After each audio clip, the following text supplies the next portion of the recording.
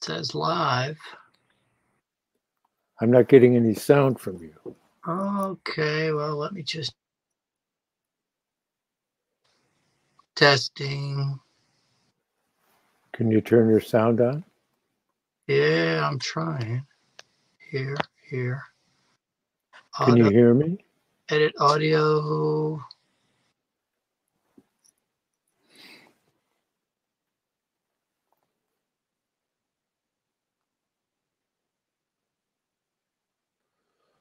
Okay, well, we're trying to put this together. Yes, Okay, you got me? that's. Can you talk? I can, but you're not, uh, I'm not getting any sound from. no. Yeah, Hello? Yeah, can't see. Jeez. Hello, testing one, two.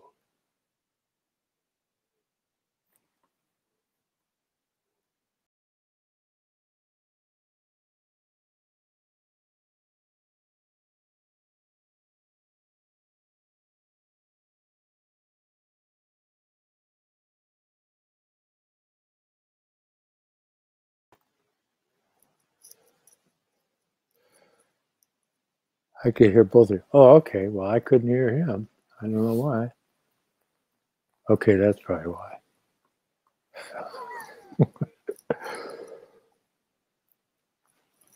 okay, well, here we go.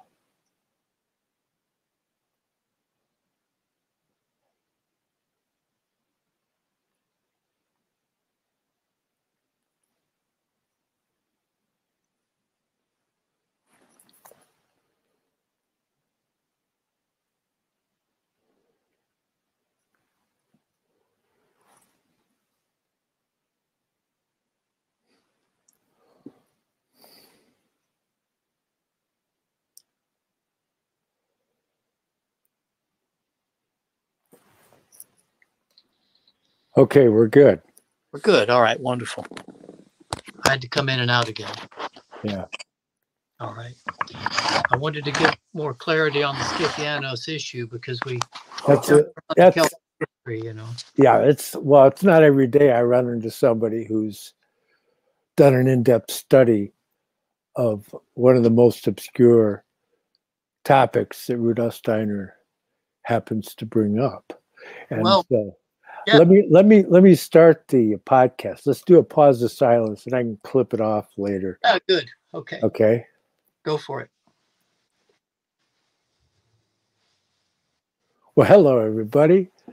My name is John Barnwell, and I'm here in Detroit, the Straits, Detroit, and I'm here with the eminent uh, martial arts instructor and and physical discipline educator and author Robert Allen Pittman, who, like myself, has for a great many years studied and attempted to unlock some of the uh, spiritual science that was given to the world by Rudolf Steiner around 100 years ago.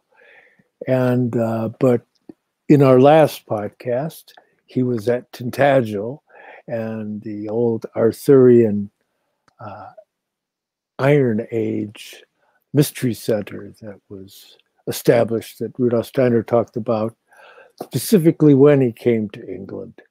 And uh, but there's certain aspects of that story that came up that we realized we had to carry it further, and that had to do with the great initiate Skythianos, who's one of those leaders of mankind, leading all the way back to ancient Atlantis. And uh, Steiner indicates how Skythianos was responsible for establishing certain important mystery centers to provide a continuation from the mysteries of the ancient world, uh, the mysteries of the Sun Mystery Center specifically in Atlantis. But then that stream separated off.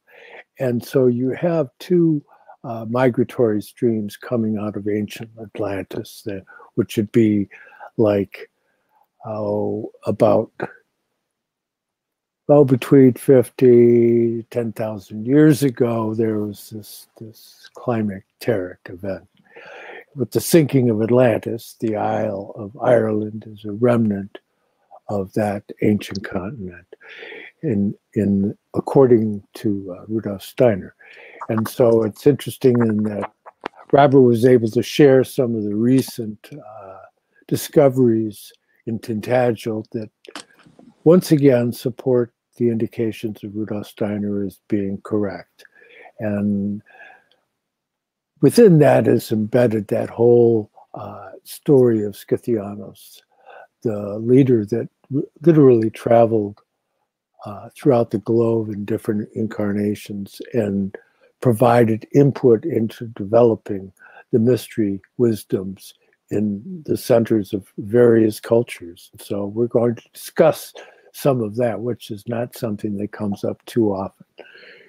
And he, but he happens to be in, in Warrington right now. He's he's in what Cheshire is that? That's in Cheshire, isn't it? This is Lewis Carroll Country. I, actually, Warrington is uh, part of Old Wales. This part of the Northwest was actually part of Wales in the old days. And we're near the town of Chester, which was uh, in the time of the Iron Age, Arthur, probably the largest fortified city in the UK. London was a village. So this part of the country was uh, extremely important at that time. And the walls of Chester are still intact, and they still have a town crier. And the accompanying town of Ribchester has uh, uh, the excavations for all the Scythian armies that came through to uh, assist the Romans. So there's some interesting entrenched history in this region, uh, in spite of its terribly urban exterior. There's some great archaeological stuff. And luckily, uh, Mark Ollie can kind of pilot me through the left handed driving, and uh, I can manage all that stuff. What I wanted to bring up, John, was um, this idea that there was a stream of energy around the planet uh, that we would say comes, if you're using Switzerland as Central Europe, it's coming from the Northwest and forming a sort of spiral around the planet. And it's not the only stream, but it's one of, of many energetic signatures. And it's the one that Steiner indicated carried the influences of, of Skythianos and of the mysteries of the physical body. And because he stipulated uh, Northwest, I got interested in reverse engineering my studies in Chinese martial arts and Indian yoga and spiraling back up around the globe toward uh, toward Scandinavia. And uh, that took me up to uh, Finland. And uh, I didn't expect to get up that way. And I haven't been up there. I've been up as far as the Finn, the Finnish occupied forest of Norway. I've got a few hints from the uh, retired uh, Norwegian healthcare authority minister who's a strong anthroposophist. Uh, she's Finnish she's retired. I went to see her in Finnskog in the Finnish forest. We had a long talk on more than one occasion between bites of apple pie and terribly dark coffee. And uh, she told me that uh, the Finns had very certain characteristics because I was interested in what I needed to know about them as a, a culture personality before I went there. And she recommended three different churches to visit, representing the three different streams of denominations of Christianity to get a taste of what the Finns do to things. Uh, I haven't been up there yet to do that. But in line with that was when I went to see Oscar Hansen before he passed away and Aarhus. And um, Dr. Hansen, when I told him that I was interested in the physical body, uh, first he proceeded to tell me that Stalin was intelligent enough to court the favor of the Finns because he considered their strategic alliance extremely important. And he wanted me to understand the depth of that statement. And so I went back to World War II and I I hacked around a little bit there and had a look at what was going on. And then I came back to, in my mind to this idea of the Finns being an extremely significant hinge to certain cultural influences. What Dr. Hansen had said was Steiner gave a lecture on uh, the Kalevala, which is uh, a sort of compiled set of legends that were gathered fairly recently, 1800s, uh, but represents some extremely ancient ideas that fermented and grew to vintage status in Finland.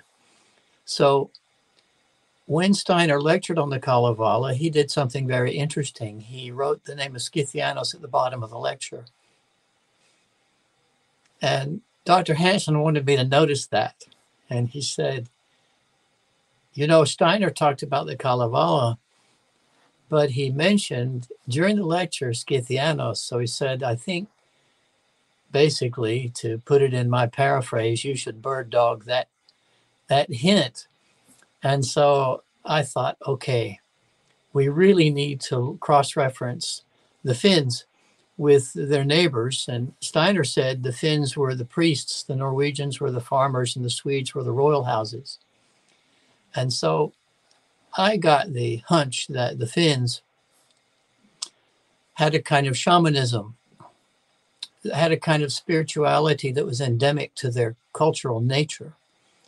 And, uh, you know, Finnish is a kind of Hungarian. And the Norwegians, for the life of themselves, can't figure out how they managed to cross the country without being caught. So there's this enigma of how they got up there, maybe through the water. Um, at any rate, they're there and they're accompanied with the Sami people who basically traverse the, the pole going back and forth from Russia to Finland. And so Finland is sort of this matrix of what I would describe as a, a, sort of tripartite influence.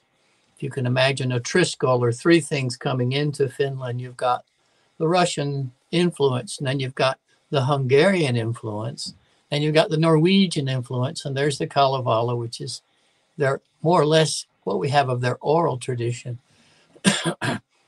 And uh, if the readers or the listeners want to do a little more research on getting a sense of it, there's a wonderful old Russian film called Sampo on YouTube, and it tells the Kalevala story. And uh, it's done in quite an archetypal fashion. It's quite fascinating, and I like to watch it on occasion to remind myself of the basic elements of the story about Väinämöinen. Um, but looking at the uniqueness of what the Finns have to offer as a culture, I'd like the listeners to to think in terms of most cultures having a legendary spear. You know, if we've done martial arts, we know the importance of weaponry. A lot of arts, the choreography is weapon defined and the body is habituated, and then they drop the weapon and you have a kata or you have an empty hand form, most of which is derived from weapon movement, which has been habituated because of the necessity of having a tool. Well, what's interesting about the Finns is they they uh, they have some uh, important weapons in the Kalevala, but the interesting thing and the the most probably the strangest thing about their main character is he uses the word as the weapon, and he uses singing as a weapon, and he sings people into oblivion there seems to be this running knowledge of uh, some sort of strange hypnosis. It's like they understood the media before the media was formed. And when Väinämöinen is threatened, he will say, You do not threaten me. I will sing you into the darkness, or I will sing you into uncreation. And it, it's really uh, a fascinating shift from I'm going to conquer you with the sword or I'm going to cut you up or spear you or thrust you or capture you or torture you. No, I'm going to sing you to death. So if you don't die of boredom, you die of resonance. So there's something very, very unique in the Finnish culture about the power of the voice And I wanted to throw that out to you and let the listeners know that too, because they can go and listen to Finnish music on YouTube and they'll hear something really spectacular and subtle. Go ahead, John. Yeah, I just wanted to comment uh, that Sergei Prokofieff, the great Russian anthroposophist who was uh, a member of the Vorstand or the Central Committee of uh, the Vorstand in Dornach, Switzerland, was Russian. He's the grandson of the composer Sergei Prokofiev. But he made the comment, and I don't have the reference in front of me because I didn't know, of course, we were going to go there, but it's in it's in his book uh, on Eastern Europe and the future mysteries of the whole spiritual origins of Eastern Europe and the future mysteries of the Holy Grail, which yeah. is probably the most extensive treatment of Skythianos done by any anthroposophist. But in there, he makes the point that the Russian word uh, for the Finns means strange, you know, or unusual. You yeah. know, so there was this, uh, there was a certain uh, respect that the Finns had in the eyes of the Rus. And and so yeah, it, it lines up with the idea that they're the priesthood, and then you have the Swedes or the royals, and then you have the agriculture uh, amongst the Norwegians, which is really interesting because it was the Norwegians primarily that when you talk of the Normans uh, and and that whole incursion into Normandy. Yeah, it would have been a, it was a Norwegian uh, reaching out, really, and mm. of course looking for agricultural land. Really is what they're they're working on. That's their their itinerary, so to speak. And like when they came, the incursions into England and and Ireland, uh, mixture of the the uh, Norwegians and the Danes primarily. So it's interesting these migrations, but what you say about that whole idea, that's like this magical uh, potency that they have being uh, the, essentially the priesthood. And, and so this is something that no doubt lives in the memory of, of the folk culture of the Slavs going back into the night of time. Yeah, I would I would think, you know, when they recite the Kalevala, the old way of doing it uh, was for two men to sit on a bench and hold hands facing each other, and they rock back and forth. And the Kalevala in, uh, I think it's in triplets, and one recites one side, the other recites the other, and they are not. One verse amplifies the first. For instance, they'll say, you know, it was. Uh, it was on the dark, dark sea that it formed. And the next phrase might be, in the deep darkness formed even darker than the sky in the winter. And so they build in, uh, in triple form in the poetry so that you're slowly and really hypnotically taken into another state. And if you read read it out loud, you'll find the the conditions for a sort of atavism are, are implicit in the Kalevala. If you read it out loud, even in translation, it will still carry you into, into the poetic sense extremely fast. And if you realize that when men recited it, they had eye contact, they were holding hands like they were rowing a boat together. So their breathing was synchronized the poem was already memorized. And so there was a cadence and uh, there was a solidity and a rhythm, and the heartbeats had a sort of seagoing activity from, from the activity of rowing the boat. So they would even do this when they recited it on land, sitting on a bench. And I think it allowed the preservation of certain things in the memory. Go ahead. Well, you could look at that more than just like uh, entertainment, the way people look at things today. It's so so much on the surface, but that it was really an invocation that they were mm-hmm. doing, that yeah. they were participating in something that was very uh, special.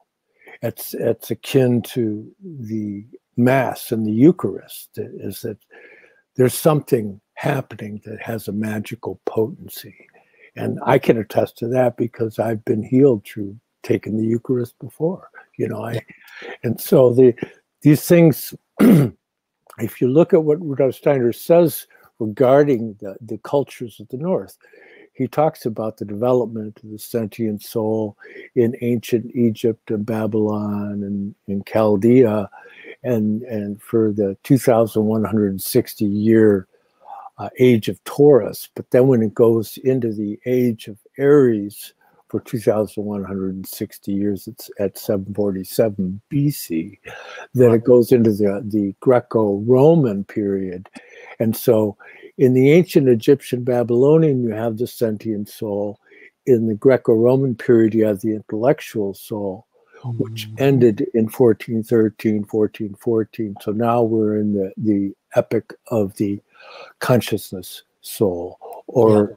but which in the future will be transformed into the spiritual soul in, right. preparation for this the, the sixth greater period coming up, which would be pointing towards uh, the Slavic region.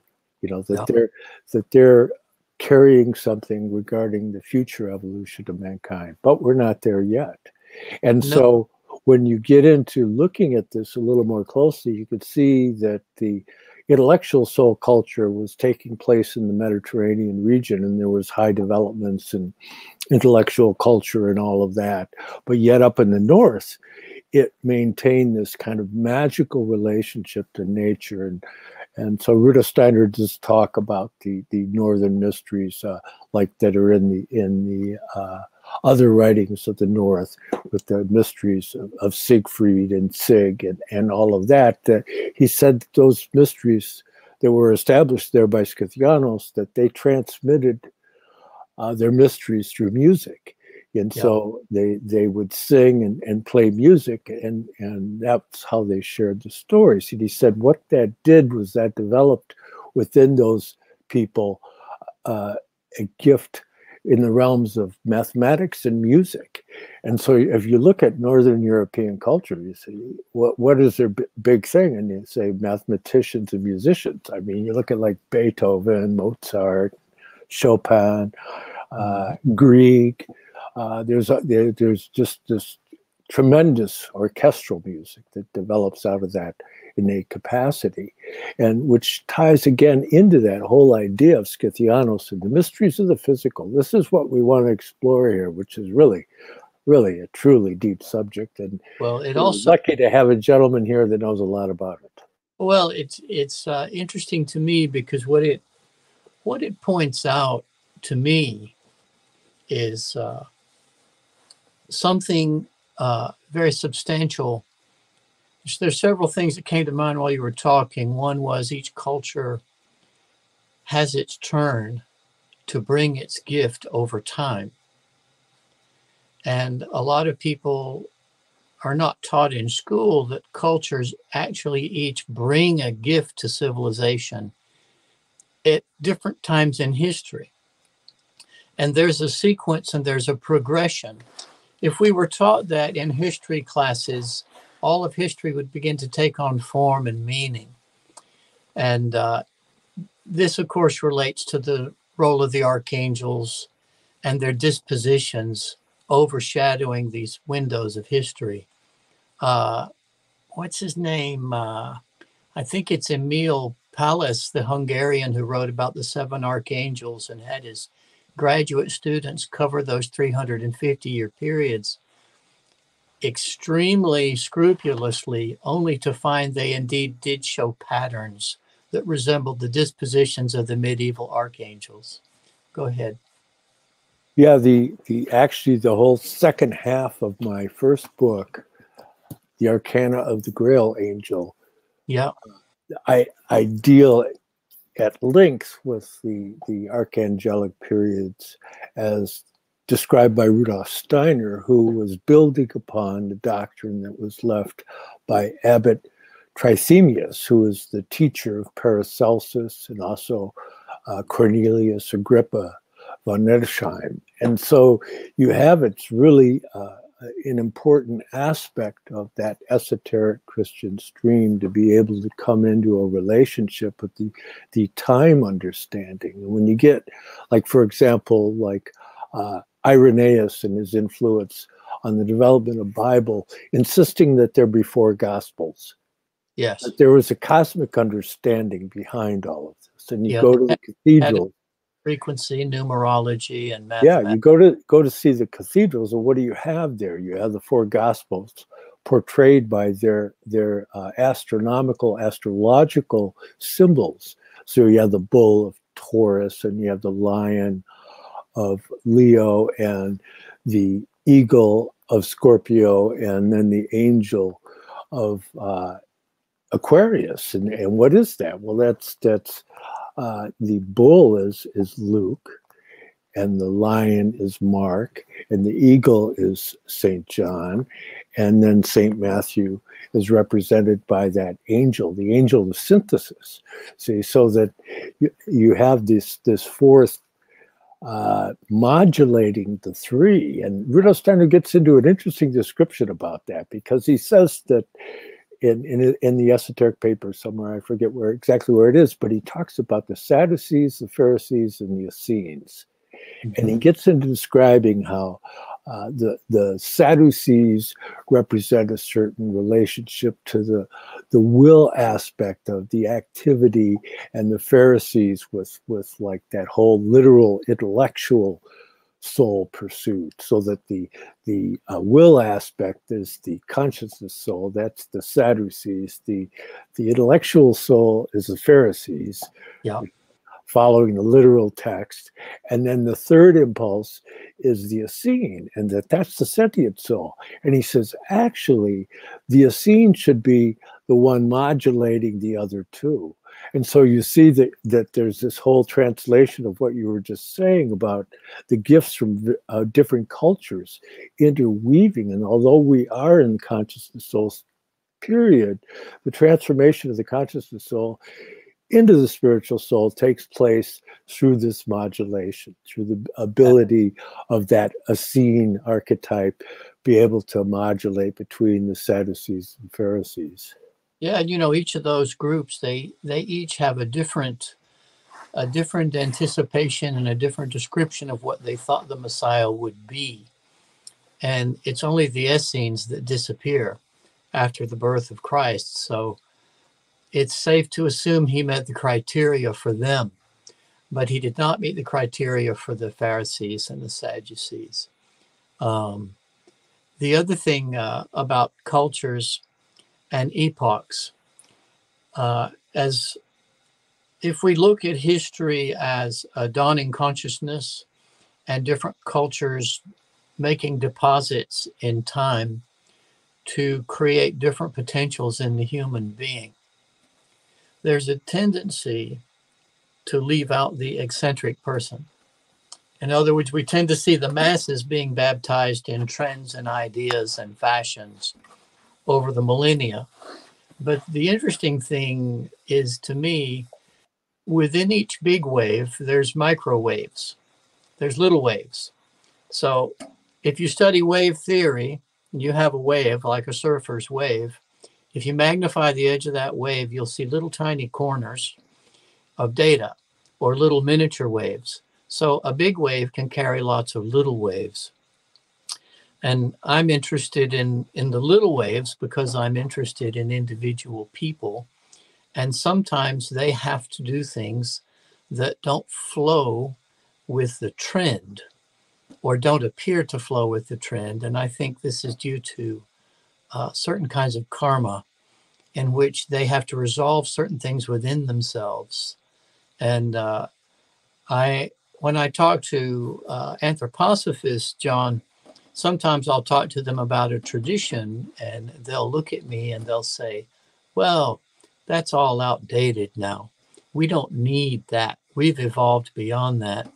And I have to bring up the fact that people are not all at the same place spiritually, and we're dimensional beings. And some of us have to go back to the past to pick up something that we forgot or that we have not resolved yet.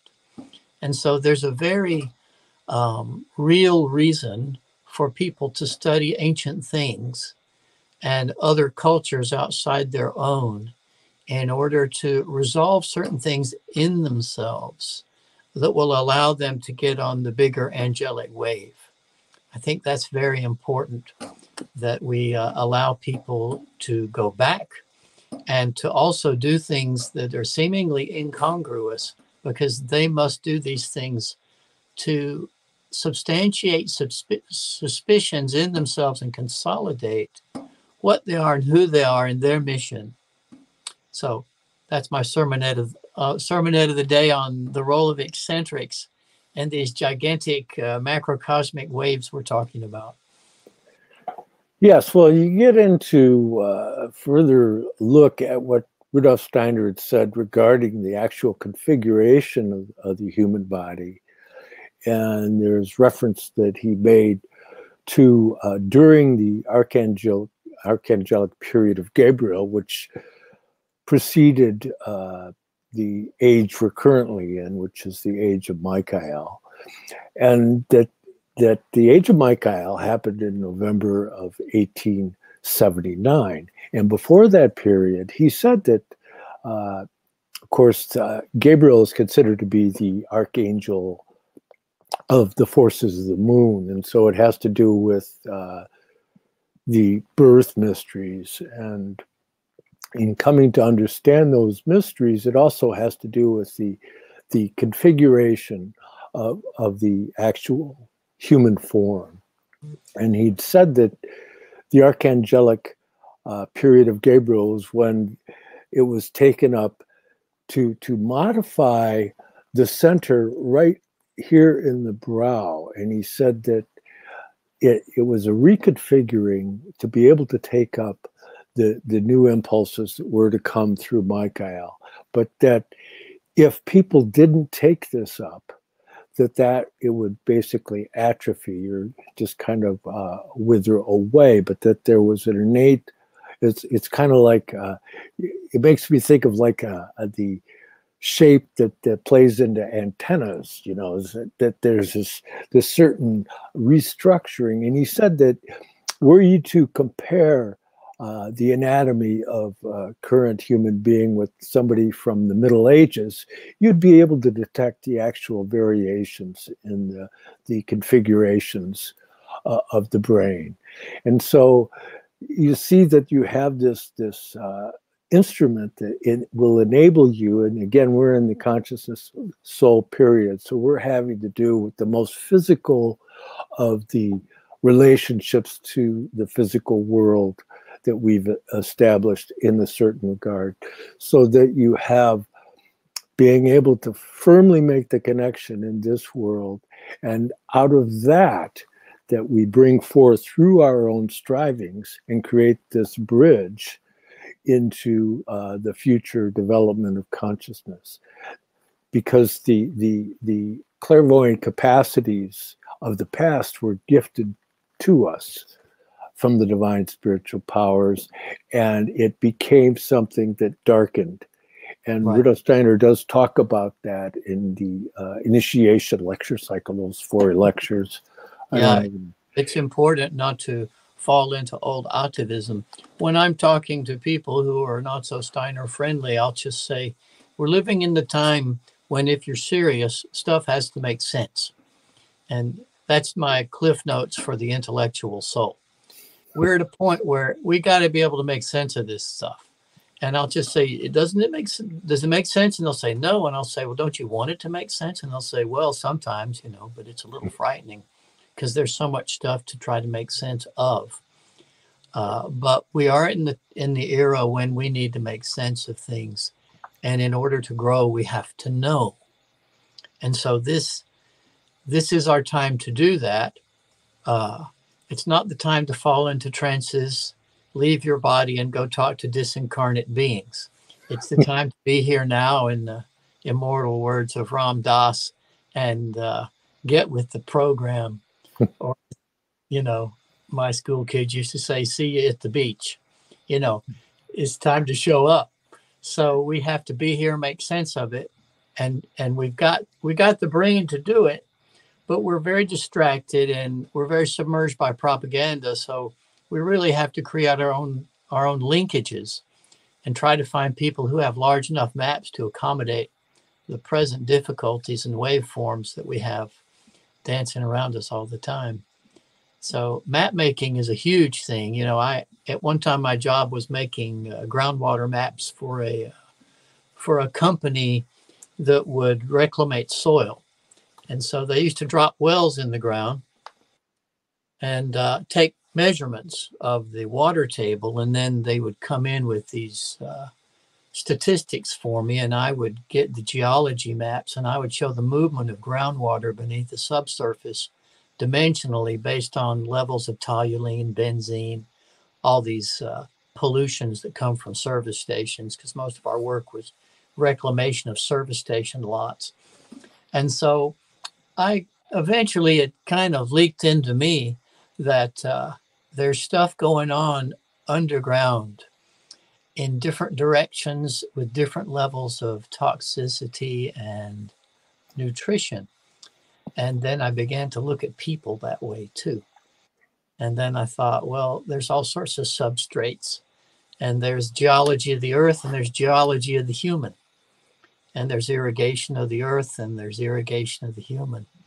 So it made things more substantial to me having that job. And I got a sense of uh, technology, pollution, and the human being uh, frolicking on the surface of the planet on this very thin green membrane that we we live on. Uh, I'm not too worried about people destroying the planet because uh, they're very tiny, and it's a very very thin membrane that we exist on. We're we're really tiny tiny creatures on a very big planet, and I I think a lot of people don't realize how. are.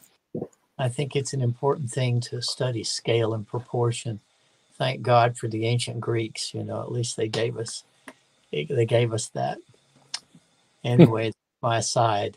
What's next? A little more on Skythianos, maybe. Well, wait, I, but I, you know, we got to include some of the human interest stories.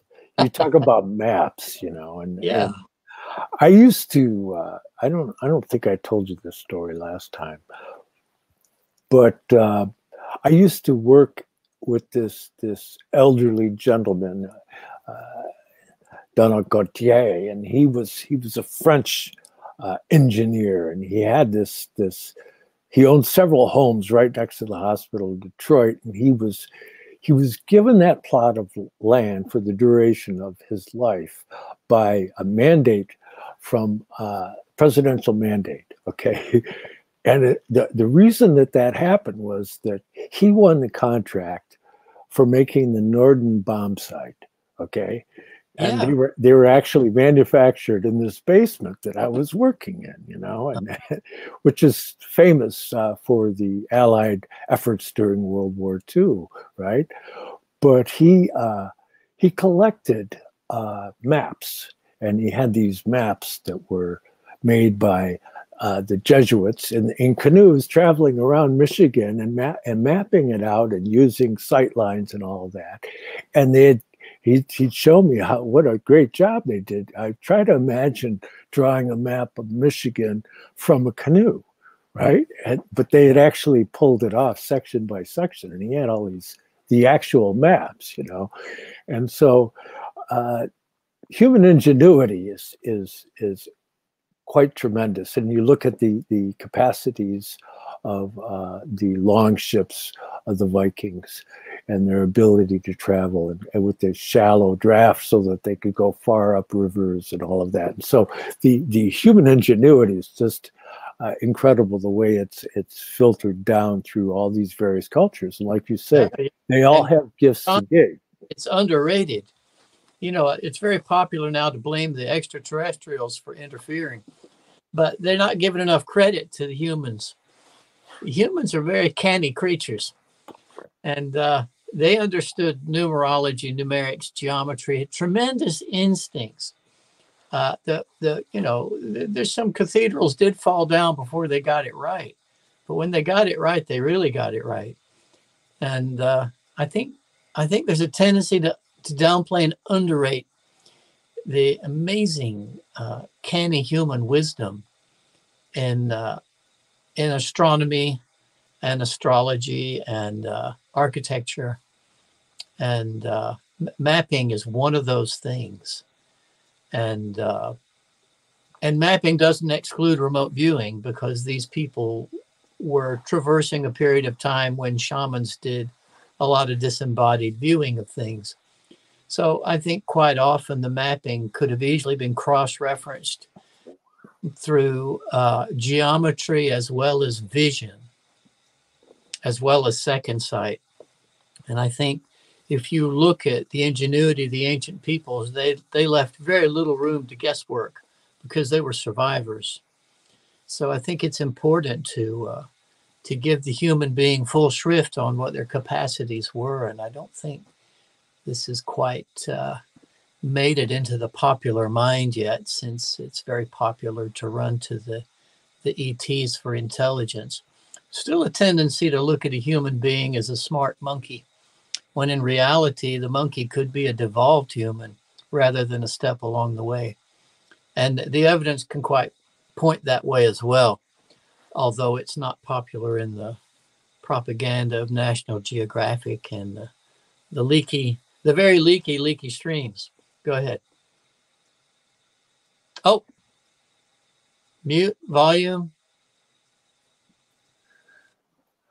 Uh, sorry, I was uh, I I was ducking out. I wanted to. You're the, one of the only people I know that is aware of this book, the psychomental complex of the. Oh, it's extremely important for anyone interested in the history of shamanism.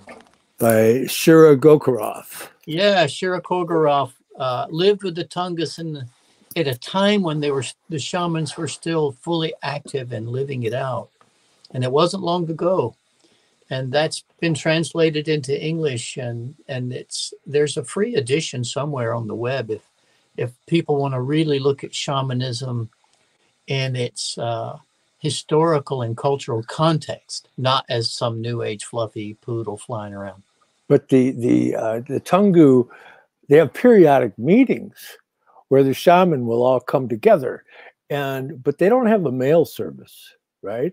And they don't have telephones and they just they would all show up.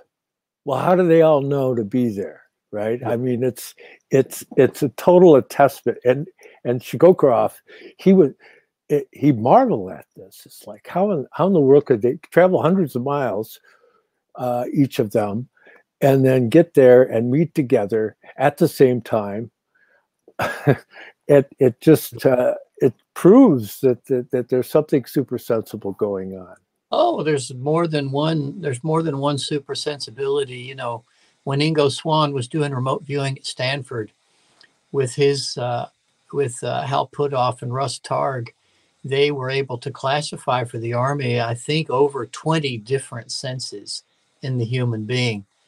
Besides the five, I think it, they brought it to about 23 senses. It's called the psychomental complex of the Tungus. I saw that question come up. Uh, excellent, excellent book on shamanism. You got to have the patience for it. You might be able to get it on interlibrary loan. Originally, it was a big, massive dictionary-like book. Um, anyway, yeah, the Tungus, they they're still intact. You know, the Russians they've unionized the shamans, and so they actually protect them. And if they find someone who's a functioning shaman healer, like in uh, Tuva, they actually have a little wallet card that says shaman blah blah grade protected by as a national trust.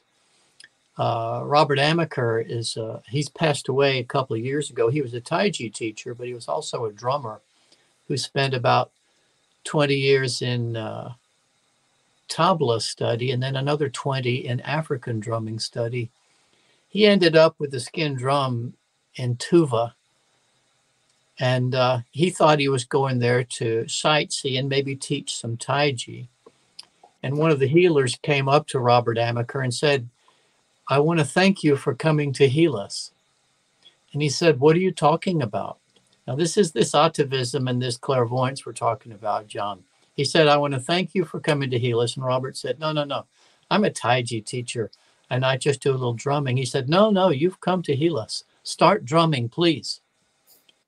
And Robert, he just, he was at the museum for the shamans and he sat down and he started drumming. They kept him in that museum for three days drumming.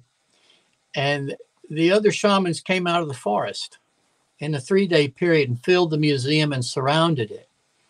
And they said to Robert Amaker, We're hearing the voices of our ancestors, and we're so grateful to you.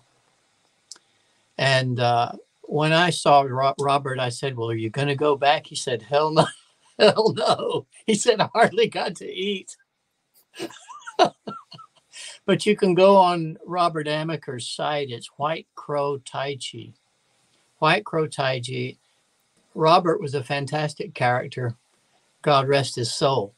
But he met the very people we're discussing now and was accepted by them and found himself put into a role he did not expect.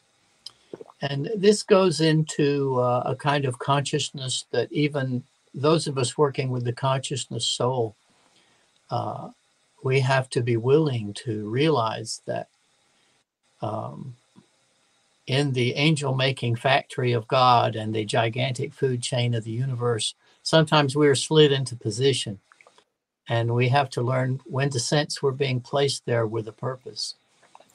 And, yeah, uh, if you get into what Rudolf Steiner says about the uh, the future and the the uh, evolutionary development of mankind when we move into the next great uh, age, that the, this Slavic soul period is, is, he said, when we get to that point, we won't need medicines. It's like, right. it's like, wow.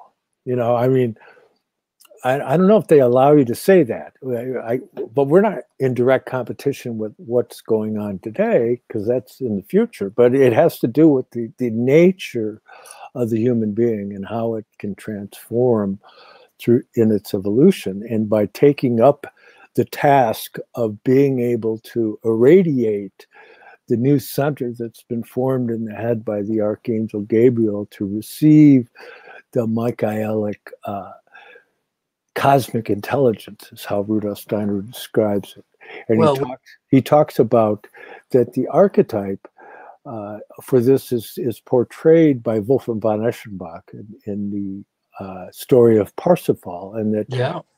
the the epic of Parsifal of the ninth century that takes place during the age of the intellectual soul. And you see in the story itself, he goes through the sentient soul, and that it's for the intellectual soul, but that what Parsifal does is he actually achieves the initiation of the consciousness soul, which is yeah.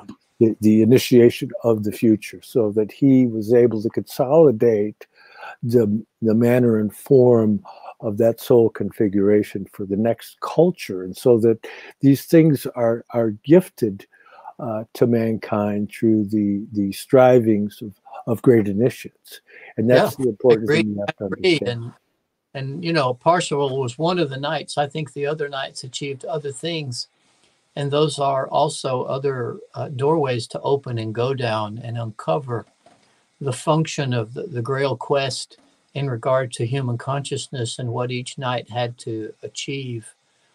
In the Parsifal story, which is the easy one to access because we have it, we have it and we have it in some detail. Uh, the names of, I'm convinced the names of the the men he conquers. I'm convinced that this list of names has great meaning. I haven't un, I haven't defined it and picked it apart with eurythmy, but I'm convinced that each person he encounters is a particular lesson in a particular craft or form of knowing. And so the names are extremely important because he's passing through stages as he conquers each one. And their knights have very particular features. There's one knight that has an armor, and the helmet is made out of crystallized salt. And uh, you can run with that. because that what that implies as far as the brain, the pineal gland, and the bloodstream is, uh, of course, uh, a litany.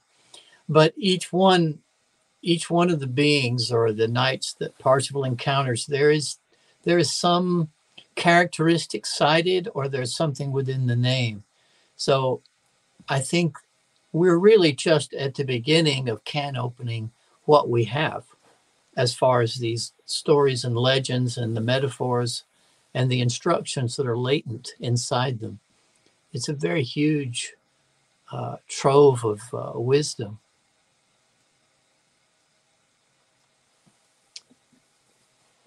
Up. If you get into uh, this particular volume, The Occult Truths of Myths and Legends, Greek and Germanic Mythology, Richard Wagner, in the yeah. light of spiritual science. And that's something that's made available. Uh, that's Collected Works, Volume 92. But Excellent. in there, he gets into explaining uh, a great deal uh, of the content. And it's interesting what he says about Richard Wagner, because Wagner Rudolf Steiner says that he was he was as dedicated to, to his mystical uh, quest as anybody at that time, which which is pretty interesting uh, comment to make. You know, well, you know, the problem, you know, when people bring up Hitler and then they whitewash German culture, and then you hear nothing about Central Europe after World War II. The whole thing has been blinked out in literature courses. And it's such a disservice to thinking human beings. But if we look at Wagner, it's obvious in his operas. He's trying to take you through a transformative experience. They're very prolonged, and the tones and the music and the incredible soaring renditions renditions of of, of uh, the songs, and then the uh, amazing almost Star Wars like sets, these vast archetypal sets and settings. Uh, we forget that most of our space opera came from real opera, and uh, and Wagner really championed it. But he was actually after transforming people, and this is all whitewashed, and he's he's looked at as pastiche or he's looked at as over dramatic or dull, but in reality, the man was actually trying to do something very good. And this is not cited, nor is it spoken about. But there's plenty spoken about to tear him down or to make him look small, which is always the mark of a remarkable human being. I'm going to have to go to the floor to put my phone on charge, but I'll continue the conversation. uh, I'm in my Siemens cabin, basically in my room here, and I have to work with. Uh, I have to work with uh, technology I have where I am. I'm used to making do, but it's a task. but yeah. I feel I feel like Wagner needs a needs a real fair shake, and he's not been given one because of uh, World War II and because he's always connected to Hitler, and you know he yeah, which is uh, really, if you get into Richard Wagner himself, it's fascinating because at the end of his life, he was working on uh, a uh, Hindu and Buddhist uh, Go ahead. Uh, opera, right? Yeah. That, and that uh, it was very redemptive for him. Yeah. But he, but some of it got taken up by people within the German military, and so he gets a bad rap. But he yeah. was extremely conscientious, and and in that he uh, was very much an activist in trying to transform uh, the culture of Germany and to bring it to a, a, a more developed uh, stage. And so it's, yeah. it's interesting when you look into him as an activist, actually. Actually, yes, and also if you look, as I recall, he was also working with Edward Schuré. And and for me, Edward Schuré was very big potatoes at that time. I I was diving into Edward Schuré in my 20s, and it was actually Schuré that took me back to Steiner. Uh, and it was because I was reading From Sphinx to Christ. And it was Schuré that really shone a shone a light on how each religion brought a certain amount of light to humanity at a certain time. And when I saw that that ladder sequence, that stair step sequence, I became very much more interested in historic patterning and what happened as, as a waveform through history and which which figures seem to repeat. Well, that's uh, it's what's part of what's so interesting about Rudolf Steiner is how he was able to take that which was of value in the theosophical movement and transform it. Because instead of uh, having like this whole thing about the root races and sub races and all that, he changed it. He changed it to cultural ages, and he gets into a, a more developed uh, description of that if you spend enough time in the body of his work, you'll find that really he, he gets uh, greatly into showing how the folk soul and the environment in which the culture is is located plays into the metamorphosis and the nature of that that cultural manifestation.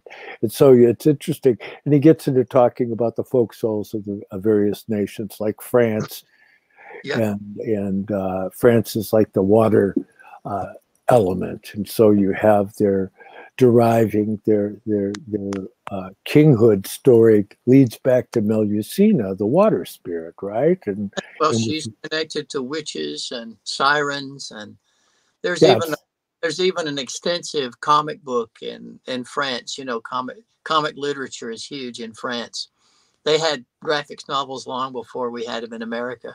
But Melusine has her own comic, and uh, my stepdaughter used to read them. There were stacks of them. So I yeah, and and, and uh, Rome is the, is the is the eagle, right? Because it's that element of, of air, and then you have the warmth element in in the northern uh, Germanic people, so that that you have that idea of that it, it's it's a young culture because our youngest member is our ego. That was the last uh, uh, of the primary principles of a human being to be added was the ego was donated through the agency of Christ the Logos through the the uh, exousiae spirits of form that all mankind was participating in this this true ego nature and that that's how we receive our greatness. And that's that's the the point of this configuration is to be able to come into relationship of this where uh, Rudolf Steiner describes elsewhere as kurios that it means lord and that the lord is that that true ego higher ego nature of which our personalities just like this kind of uh, dull reflection on the, on the screen of of of what's going on, and that we're not even aware. You know, you're not making your heartbeat. You don't. I don't think you think you are. You're not making your blood flow, but yet some, is. Yeah, John. If someone swings in from the periphery, as Steiner would say, I think it's important to realize that what the word translated as ego in Steiner's work is ich, and it means individuality or essence. It does not mean Freud's ego. And this has created a tremendous amount of confusion. Uh, that it's not it's not Freud's ego, it's the individuality, the I am of the person.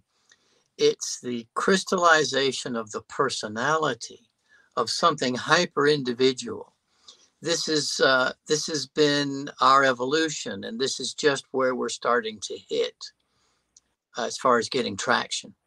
Yeah, the uh, it's important to keep in mind that, that the German word "ich" uh, is I C H, and it's the initials of Jesus Christ, and that it was uh, uh Ulfilas, the the Gothic.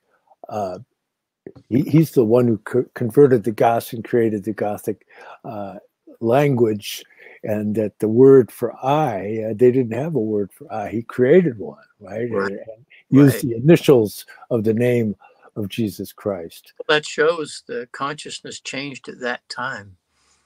You know, the American detective writer uh, Raymond Chandler, he said, everything happens in the poetry first. And uh, he wrote an essay on the simple art of murder, which is pretty fantastic about uh, the necessary redemption a hero requires so that he doesn't match his surroundings. Um, but this idea that the individual is a developing thing and that we can see it in literature over time through language is extremely important for those listening uh, to know that people have not always been the same, nor have they always thought the same way. And the reason we know this is because in the literature and specifically in the poetry, language is, has shown a pattern of development and changes. And we can track that pattern of development and those changes. And that shows us that although we look outside and we say, you know, it's still the same old world with with evil, sin, hate, good, forces of light and darkness, there is something else, which is the human being over time, the consciousness of the human being has been changing. And we do know that because we see it in language. And I and that's where we can spot the I am that's where we can spot the ick is in the the function of language and the development of language and the ability to conceive of new things and unique things. Well yeah you have for example the testimony of owen barfield. And he has a book history in words right? And yeah.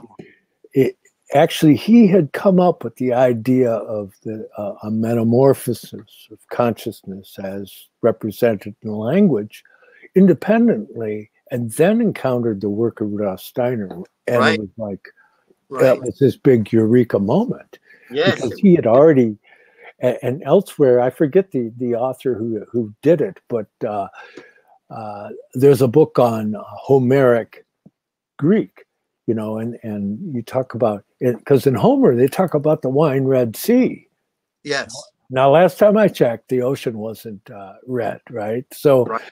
And Rudolf Steiner does in one point, I forget which lecture, but he makes reference to the change of the perception of colors that that was uh, uh, active at that time in the mm. ancient uh, Greeks. So you see that there's this transformation. In in the lecture cycle that Rudolf Steiner does on Dionysius, it's just absolutely spectacular when he starts getting into explaining Greek myths and legends and shows how the principles are represented by the Greek gods so that you have Pluto is, is the physical body, and then you have Zeus is like the astral body, and Neptune is the etheric body. And right. then he gets into that, and he gets into talking about uh, the the rape of Persephone represents the the coming into the physicality and losing the the inherent clairvoyant capacities that were gifted us. Yes yes from from the the goddess right and that uh, persephone the, that whole cycle of of stories and so you have Rudolf Steiner later in the initiation cycle in the last lecture he talks about that there's this darkening of of some uh, uh, attribute of our humanness and it has gone unconscious and that is the doorway that gives access to the adversaries and, yeah. and be able to manipulate us through wrong thinking and urges and, and so many of the things that work in us unconsciously now because it didn't used to be that way, but now it is unconscious. So that through uh, opening us to the divine through this this future pointing faculty, we will be able to shed light and reclaim that which was lost. Yeah, that's uh, Barfield called, uh, what was the word he used? He called it final participation. He said the shamans were in the original participation state, which means they basically went out their body, went into visionary states, and then returned with different kinds of insight, wisdom, remote viewing, uh, insider stuff on what plants want and what they can do for you, that kind of thing. But in our intellectual development, we had to let that go so we could be the mad scientist in the lab and torture things and look at the secrets of matter. And hopefully, we're going to evolve beyond needing to torture things to figure out what kills them, to know what makes them live, and progress on to looking at things as living forms. And if we could study living things instead of dead things or killing things, we could get insight into the forces behind life. That would be the etheric science that is oncoming, as as you know, John, and we're all rooting for that one. But that's going to bring us closer to having the sensibility of a shaman, but the intellect of a scientist. Yes, we we we get to keep uh, what we've developed and approach it in a new light. And uh, but a good example of what you're referring, uh, the Aborigines' ability to, to to sense and find water, like uh, you know, travel miles and then go right to and, and dig down, and there's there's like uh, uh, aquifer, like what you were referring to. But were they to, to go to college and start studying mathematics and astronomy and all this abstract science, they would lose that faculty. That, that, that it would it would it would push it aside. And so you see that there that there's different facets of of uh, individual nature that have to be reapproached in a new way. You can't go back. And like a lot of people, they like to think they can go back and do what the ancients did as far as uh, to be able to come into a state of uh, revelation and mystery. But Rudolf Steiner is very clear that you know you have to be able to move into the future with with the the future gifts that that that we are fashioning out of our own strivings. It's not yes. something that we're receiving passively from mm. from beings, but that we're able to fashion out of our own uh, relation to the world. I don't know how much time you have, so I'm just want to. Uh, we're one hour and seven minutes. Yeah. Uh, I just wanted to bring up. Uh, sometimes we have to go backward to go forward, and uh, I think that, that, there are quite a few people who are old souls who've got to go dabble in the old shamanism to realize it doesn't quite function as it used to. When they let go of that, they'll they'll make their way to the new shamanism, which will include the will and the intellect, and the and interestingly the physical body, so that you get the extended perception without departing from the physical body, and you get the insight of the intellect on the revelation instead of the departure from the intellect to get the revelation. So we're there and it's happening, but we are seeing a lot of confusion in our time because people don't like to think too much. You know, Abraham Lincoln said, if a dog had five tails, how many tails would it have? And someone said, uh, I don't know. And he said, Well, the answer is the, the whole thing's wrong. Dog doesn't have five tails. And, uh, they were taking a lawyer to come up with that one. So the the whole point is that we we get lost in a lot of useless thinking, but we really need to apply serious thinking. And Steiner said the truth wasn't simple, and I'm glad he said that because people love to pretend everything is simple because they're lazy. And it's important to overcome that and try to pursue things till you get to the actual uh, cause and you look at the complexities behind even the simplest things because it'll really loosen you up and make you a little more tolerant for all the craziness that's happening.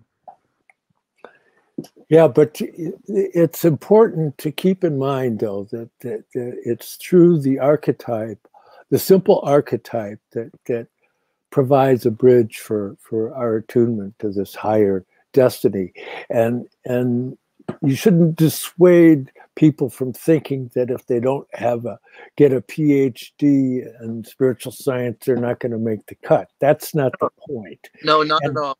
Not and so uh, i i go back to the i go back to novalis the the the uh, great german romantic poet and he said the highest and the purest is the most common and the most understandable hence elementary geometry is higher than higher geometry. Mhm. The more difficult and the more intricate a science, the more derived, the more impure, and the more mixed.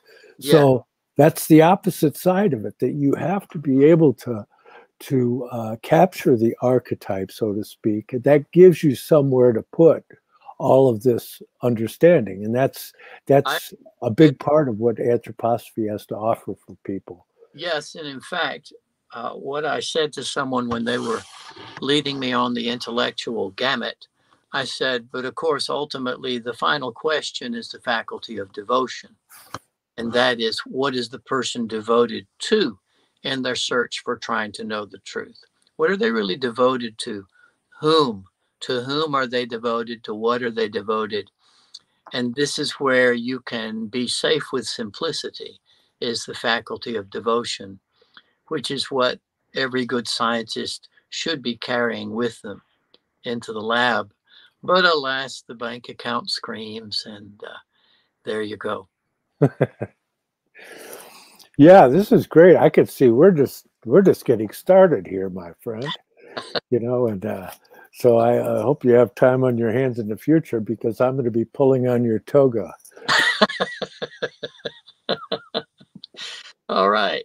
But uh, I, I before we go, I want to uh, share uh, some details of, of our, our wonderful uh, friend here, uh, Robert Allen Pittman. What, what details would you like to share with our audience uh, Oh gosh. I'm. Uh, uh, my website is a martial arts website mainly. That's allenpittman.com, A L L E N P I T T M A N. But my life is shifting up, and I'm beginning work on a um, what I call the Castle Project, which is an attempt to classify and organize all the traditional wisdom traditions around the world. So it's a small, bite-sized task, and it's going to take a while. And uh, that's where I'm going this year. So I'll back off from teaching and I'll still do consulting and do a little bit of training on the side, but most of my energies are going to be pushed toward mapping, mapping of the wisdom traditions of the world that are still extant and see what's left. That's wonderful. Well, you might, you know, uh, Joseph Campbell has done a wonderful contribution in that regard, and you might, uh, if you get near a, a well-stocked library, uh, you might find it there because it's a great big book and it has all the different uh, folklore and, and mythology of all the various world cultures. Very, I'm very familiar with him, and uh, this this is very connected to an old project I did about 20 years ago with the Mythic Imagination Institute. And I was doing security for all the speakers. There was over a hundred, and I got to speak with a lot of them as a result. But of course, Joseph Campbell's work was a, a big part of that conference. Um, so I'm basically extending that now to our archive preservation exploration institution and looking at funding and assemblage and organizational matters. And I'll see how far I get before I croak, you know. But in, light of all that, just to give uh, people perhaps something they could work on, uh, that the the spiritual world responds more readily to the archetypes rather than to all this intellectual chatter we come up with, which is of, of really, uh, it's not it's not gonna it's not gonna serve you well in the next world. What one one needs to do is is gain kind of an archetypal relationship. So if you could, you know, uh, spend a, a few minutes a day, close your eyes, and try to imagine and hold in your imagination uh, the image of a circle and the image of a triangle and the image of a square. See if you can do that uh, for any extended period of time, and you'll see how much work you have to do to begin to to uh, uh, function within the realm of imagination, and and that that's that whole faculty of being able to work towards becoming a creative being. And we're right at this point. We've been created at the behest of the divine spiritual beings, and now we're like infants, and we're we're we're trying to uh, follow the lead that was laid out for us by Jesus Christ through his incarnation at the baptism, and uh, for three years being able to uh, proceed according to that cosmic nature that's expressed in the first three years of childhood, and that that that that's that divine spiritual place that we were there. We just don't remember see. And so it's to be able to develop a conscious relationship to this world of the divine spiritual beings that's to me far more interesting than than uh, some of the things that people occupy their minds with. And uh, but that it's up to them however they want to spend their time. So yeah. I, I i want to mention of course i have two books. Unfortunately this one's out of print but i if i could carve out some time i would be able to get it back in print on demand is what i'm planning. It's some 640 pages. The arcana of the grail angel the spiritual science of the holy blood and the holy grail a study developed out of the work of Rudolf Steiner, the underground streams of esoteric Christianity, which flowed from the Brotherhood of the Holy Grail to the Order of the Knights Templar and the True Rosicrucian Order. And the second volume is the Arcana of Light on the Path. And uh, I have a whole series of these cosmological diagrams to serve as a memory theater so that you can come to a, relationship with some of the things that, that we discussed regarding Rudolf Steiner's spiritual science. But you can still get this volume uh, if you, unfortunately, I don't have an eBay link right now, but there's a link below for my academia page, and you can contact me through there or on private message on Facebook, and I can make arrangements even if you're outside the US. And if you want to buy me a cup of coffee, that's uh, paypal.me forward slash John Barnwell 888. Do you have some kind of PayPal tag that you? I do have uh, Allen Pittman at Yahoo will uh, will PayPal me in the U.S. and R. A. Pittman 39 at Gmail will PayPal me here in UK. Okay. So take take risk as you will. Yeah, but uh, I always enjoy a, a nice hot cup of coffee. Anyways, any and nothing's too small, but uh, so I guess we have uh, our work cut out for us, my friend. We, we've traveled, we've traveled into some pretty deep water, and we've only got just got started. Thanks, John. Thank you so much. Talk to you later. Bye. Bye.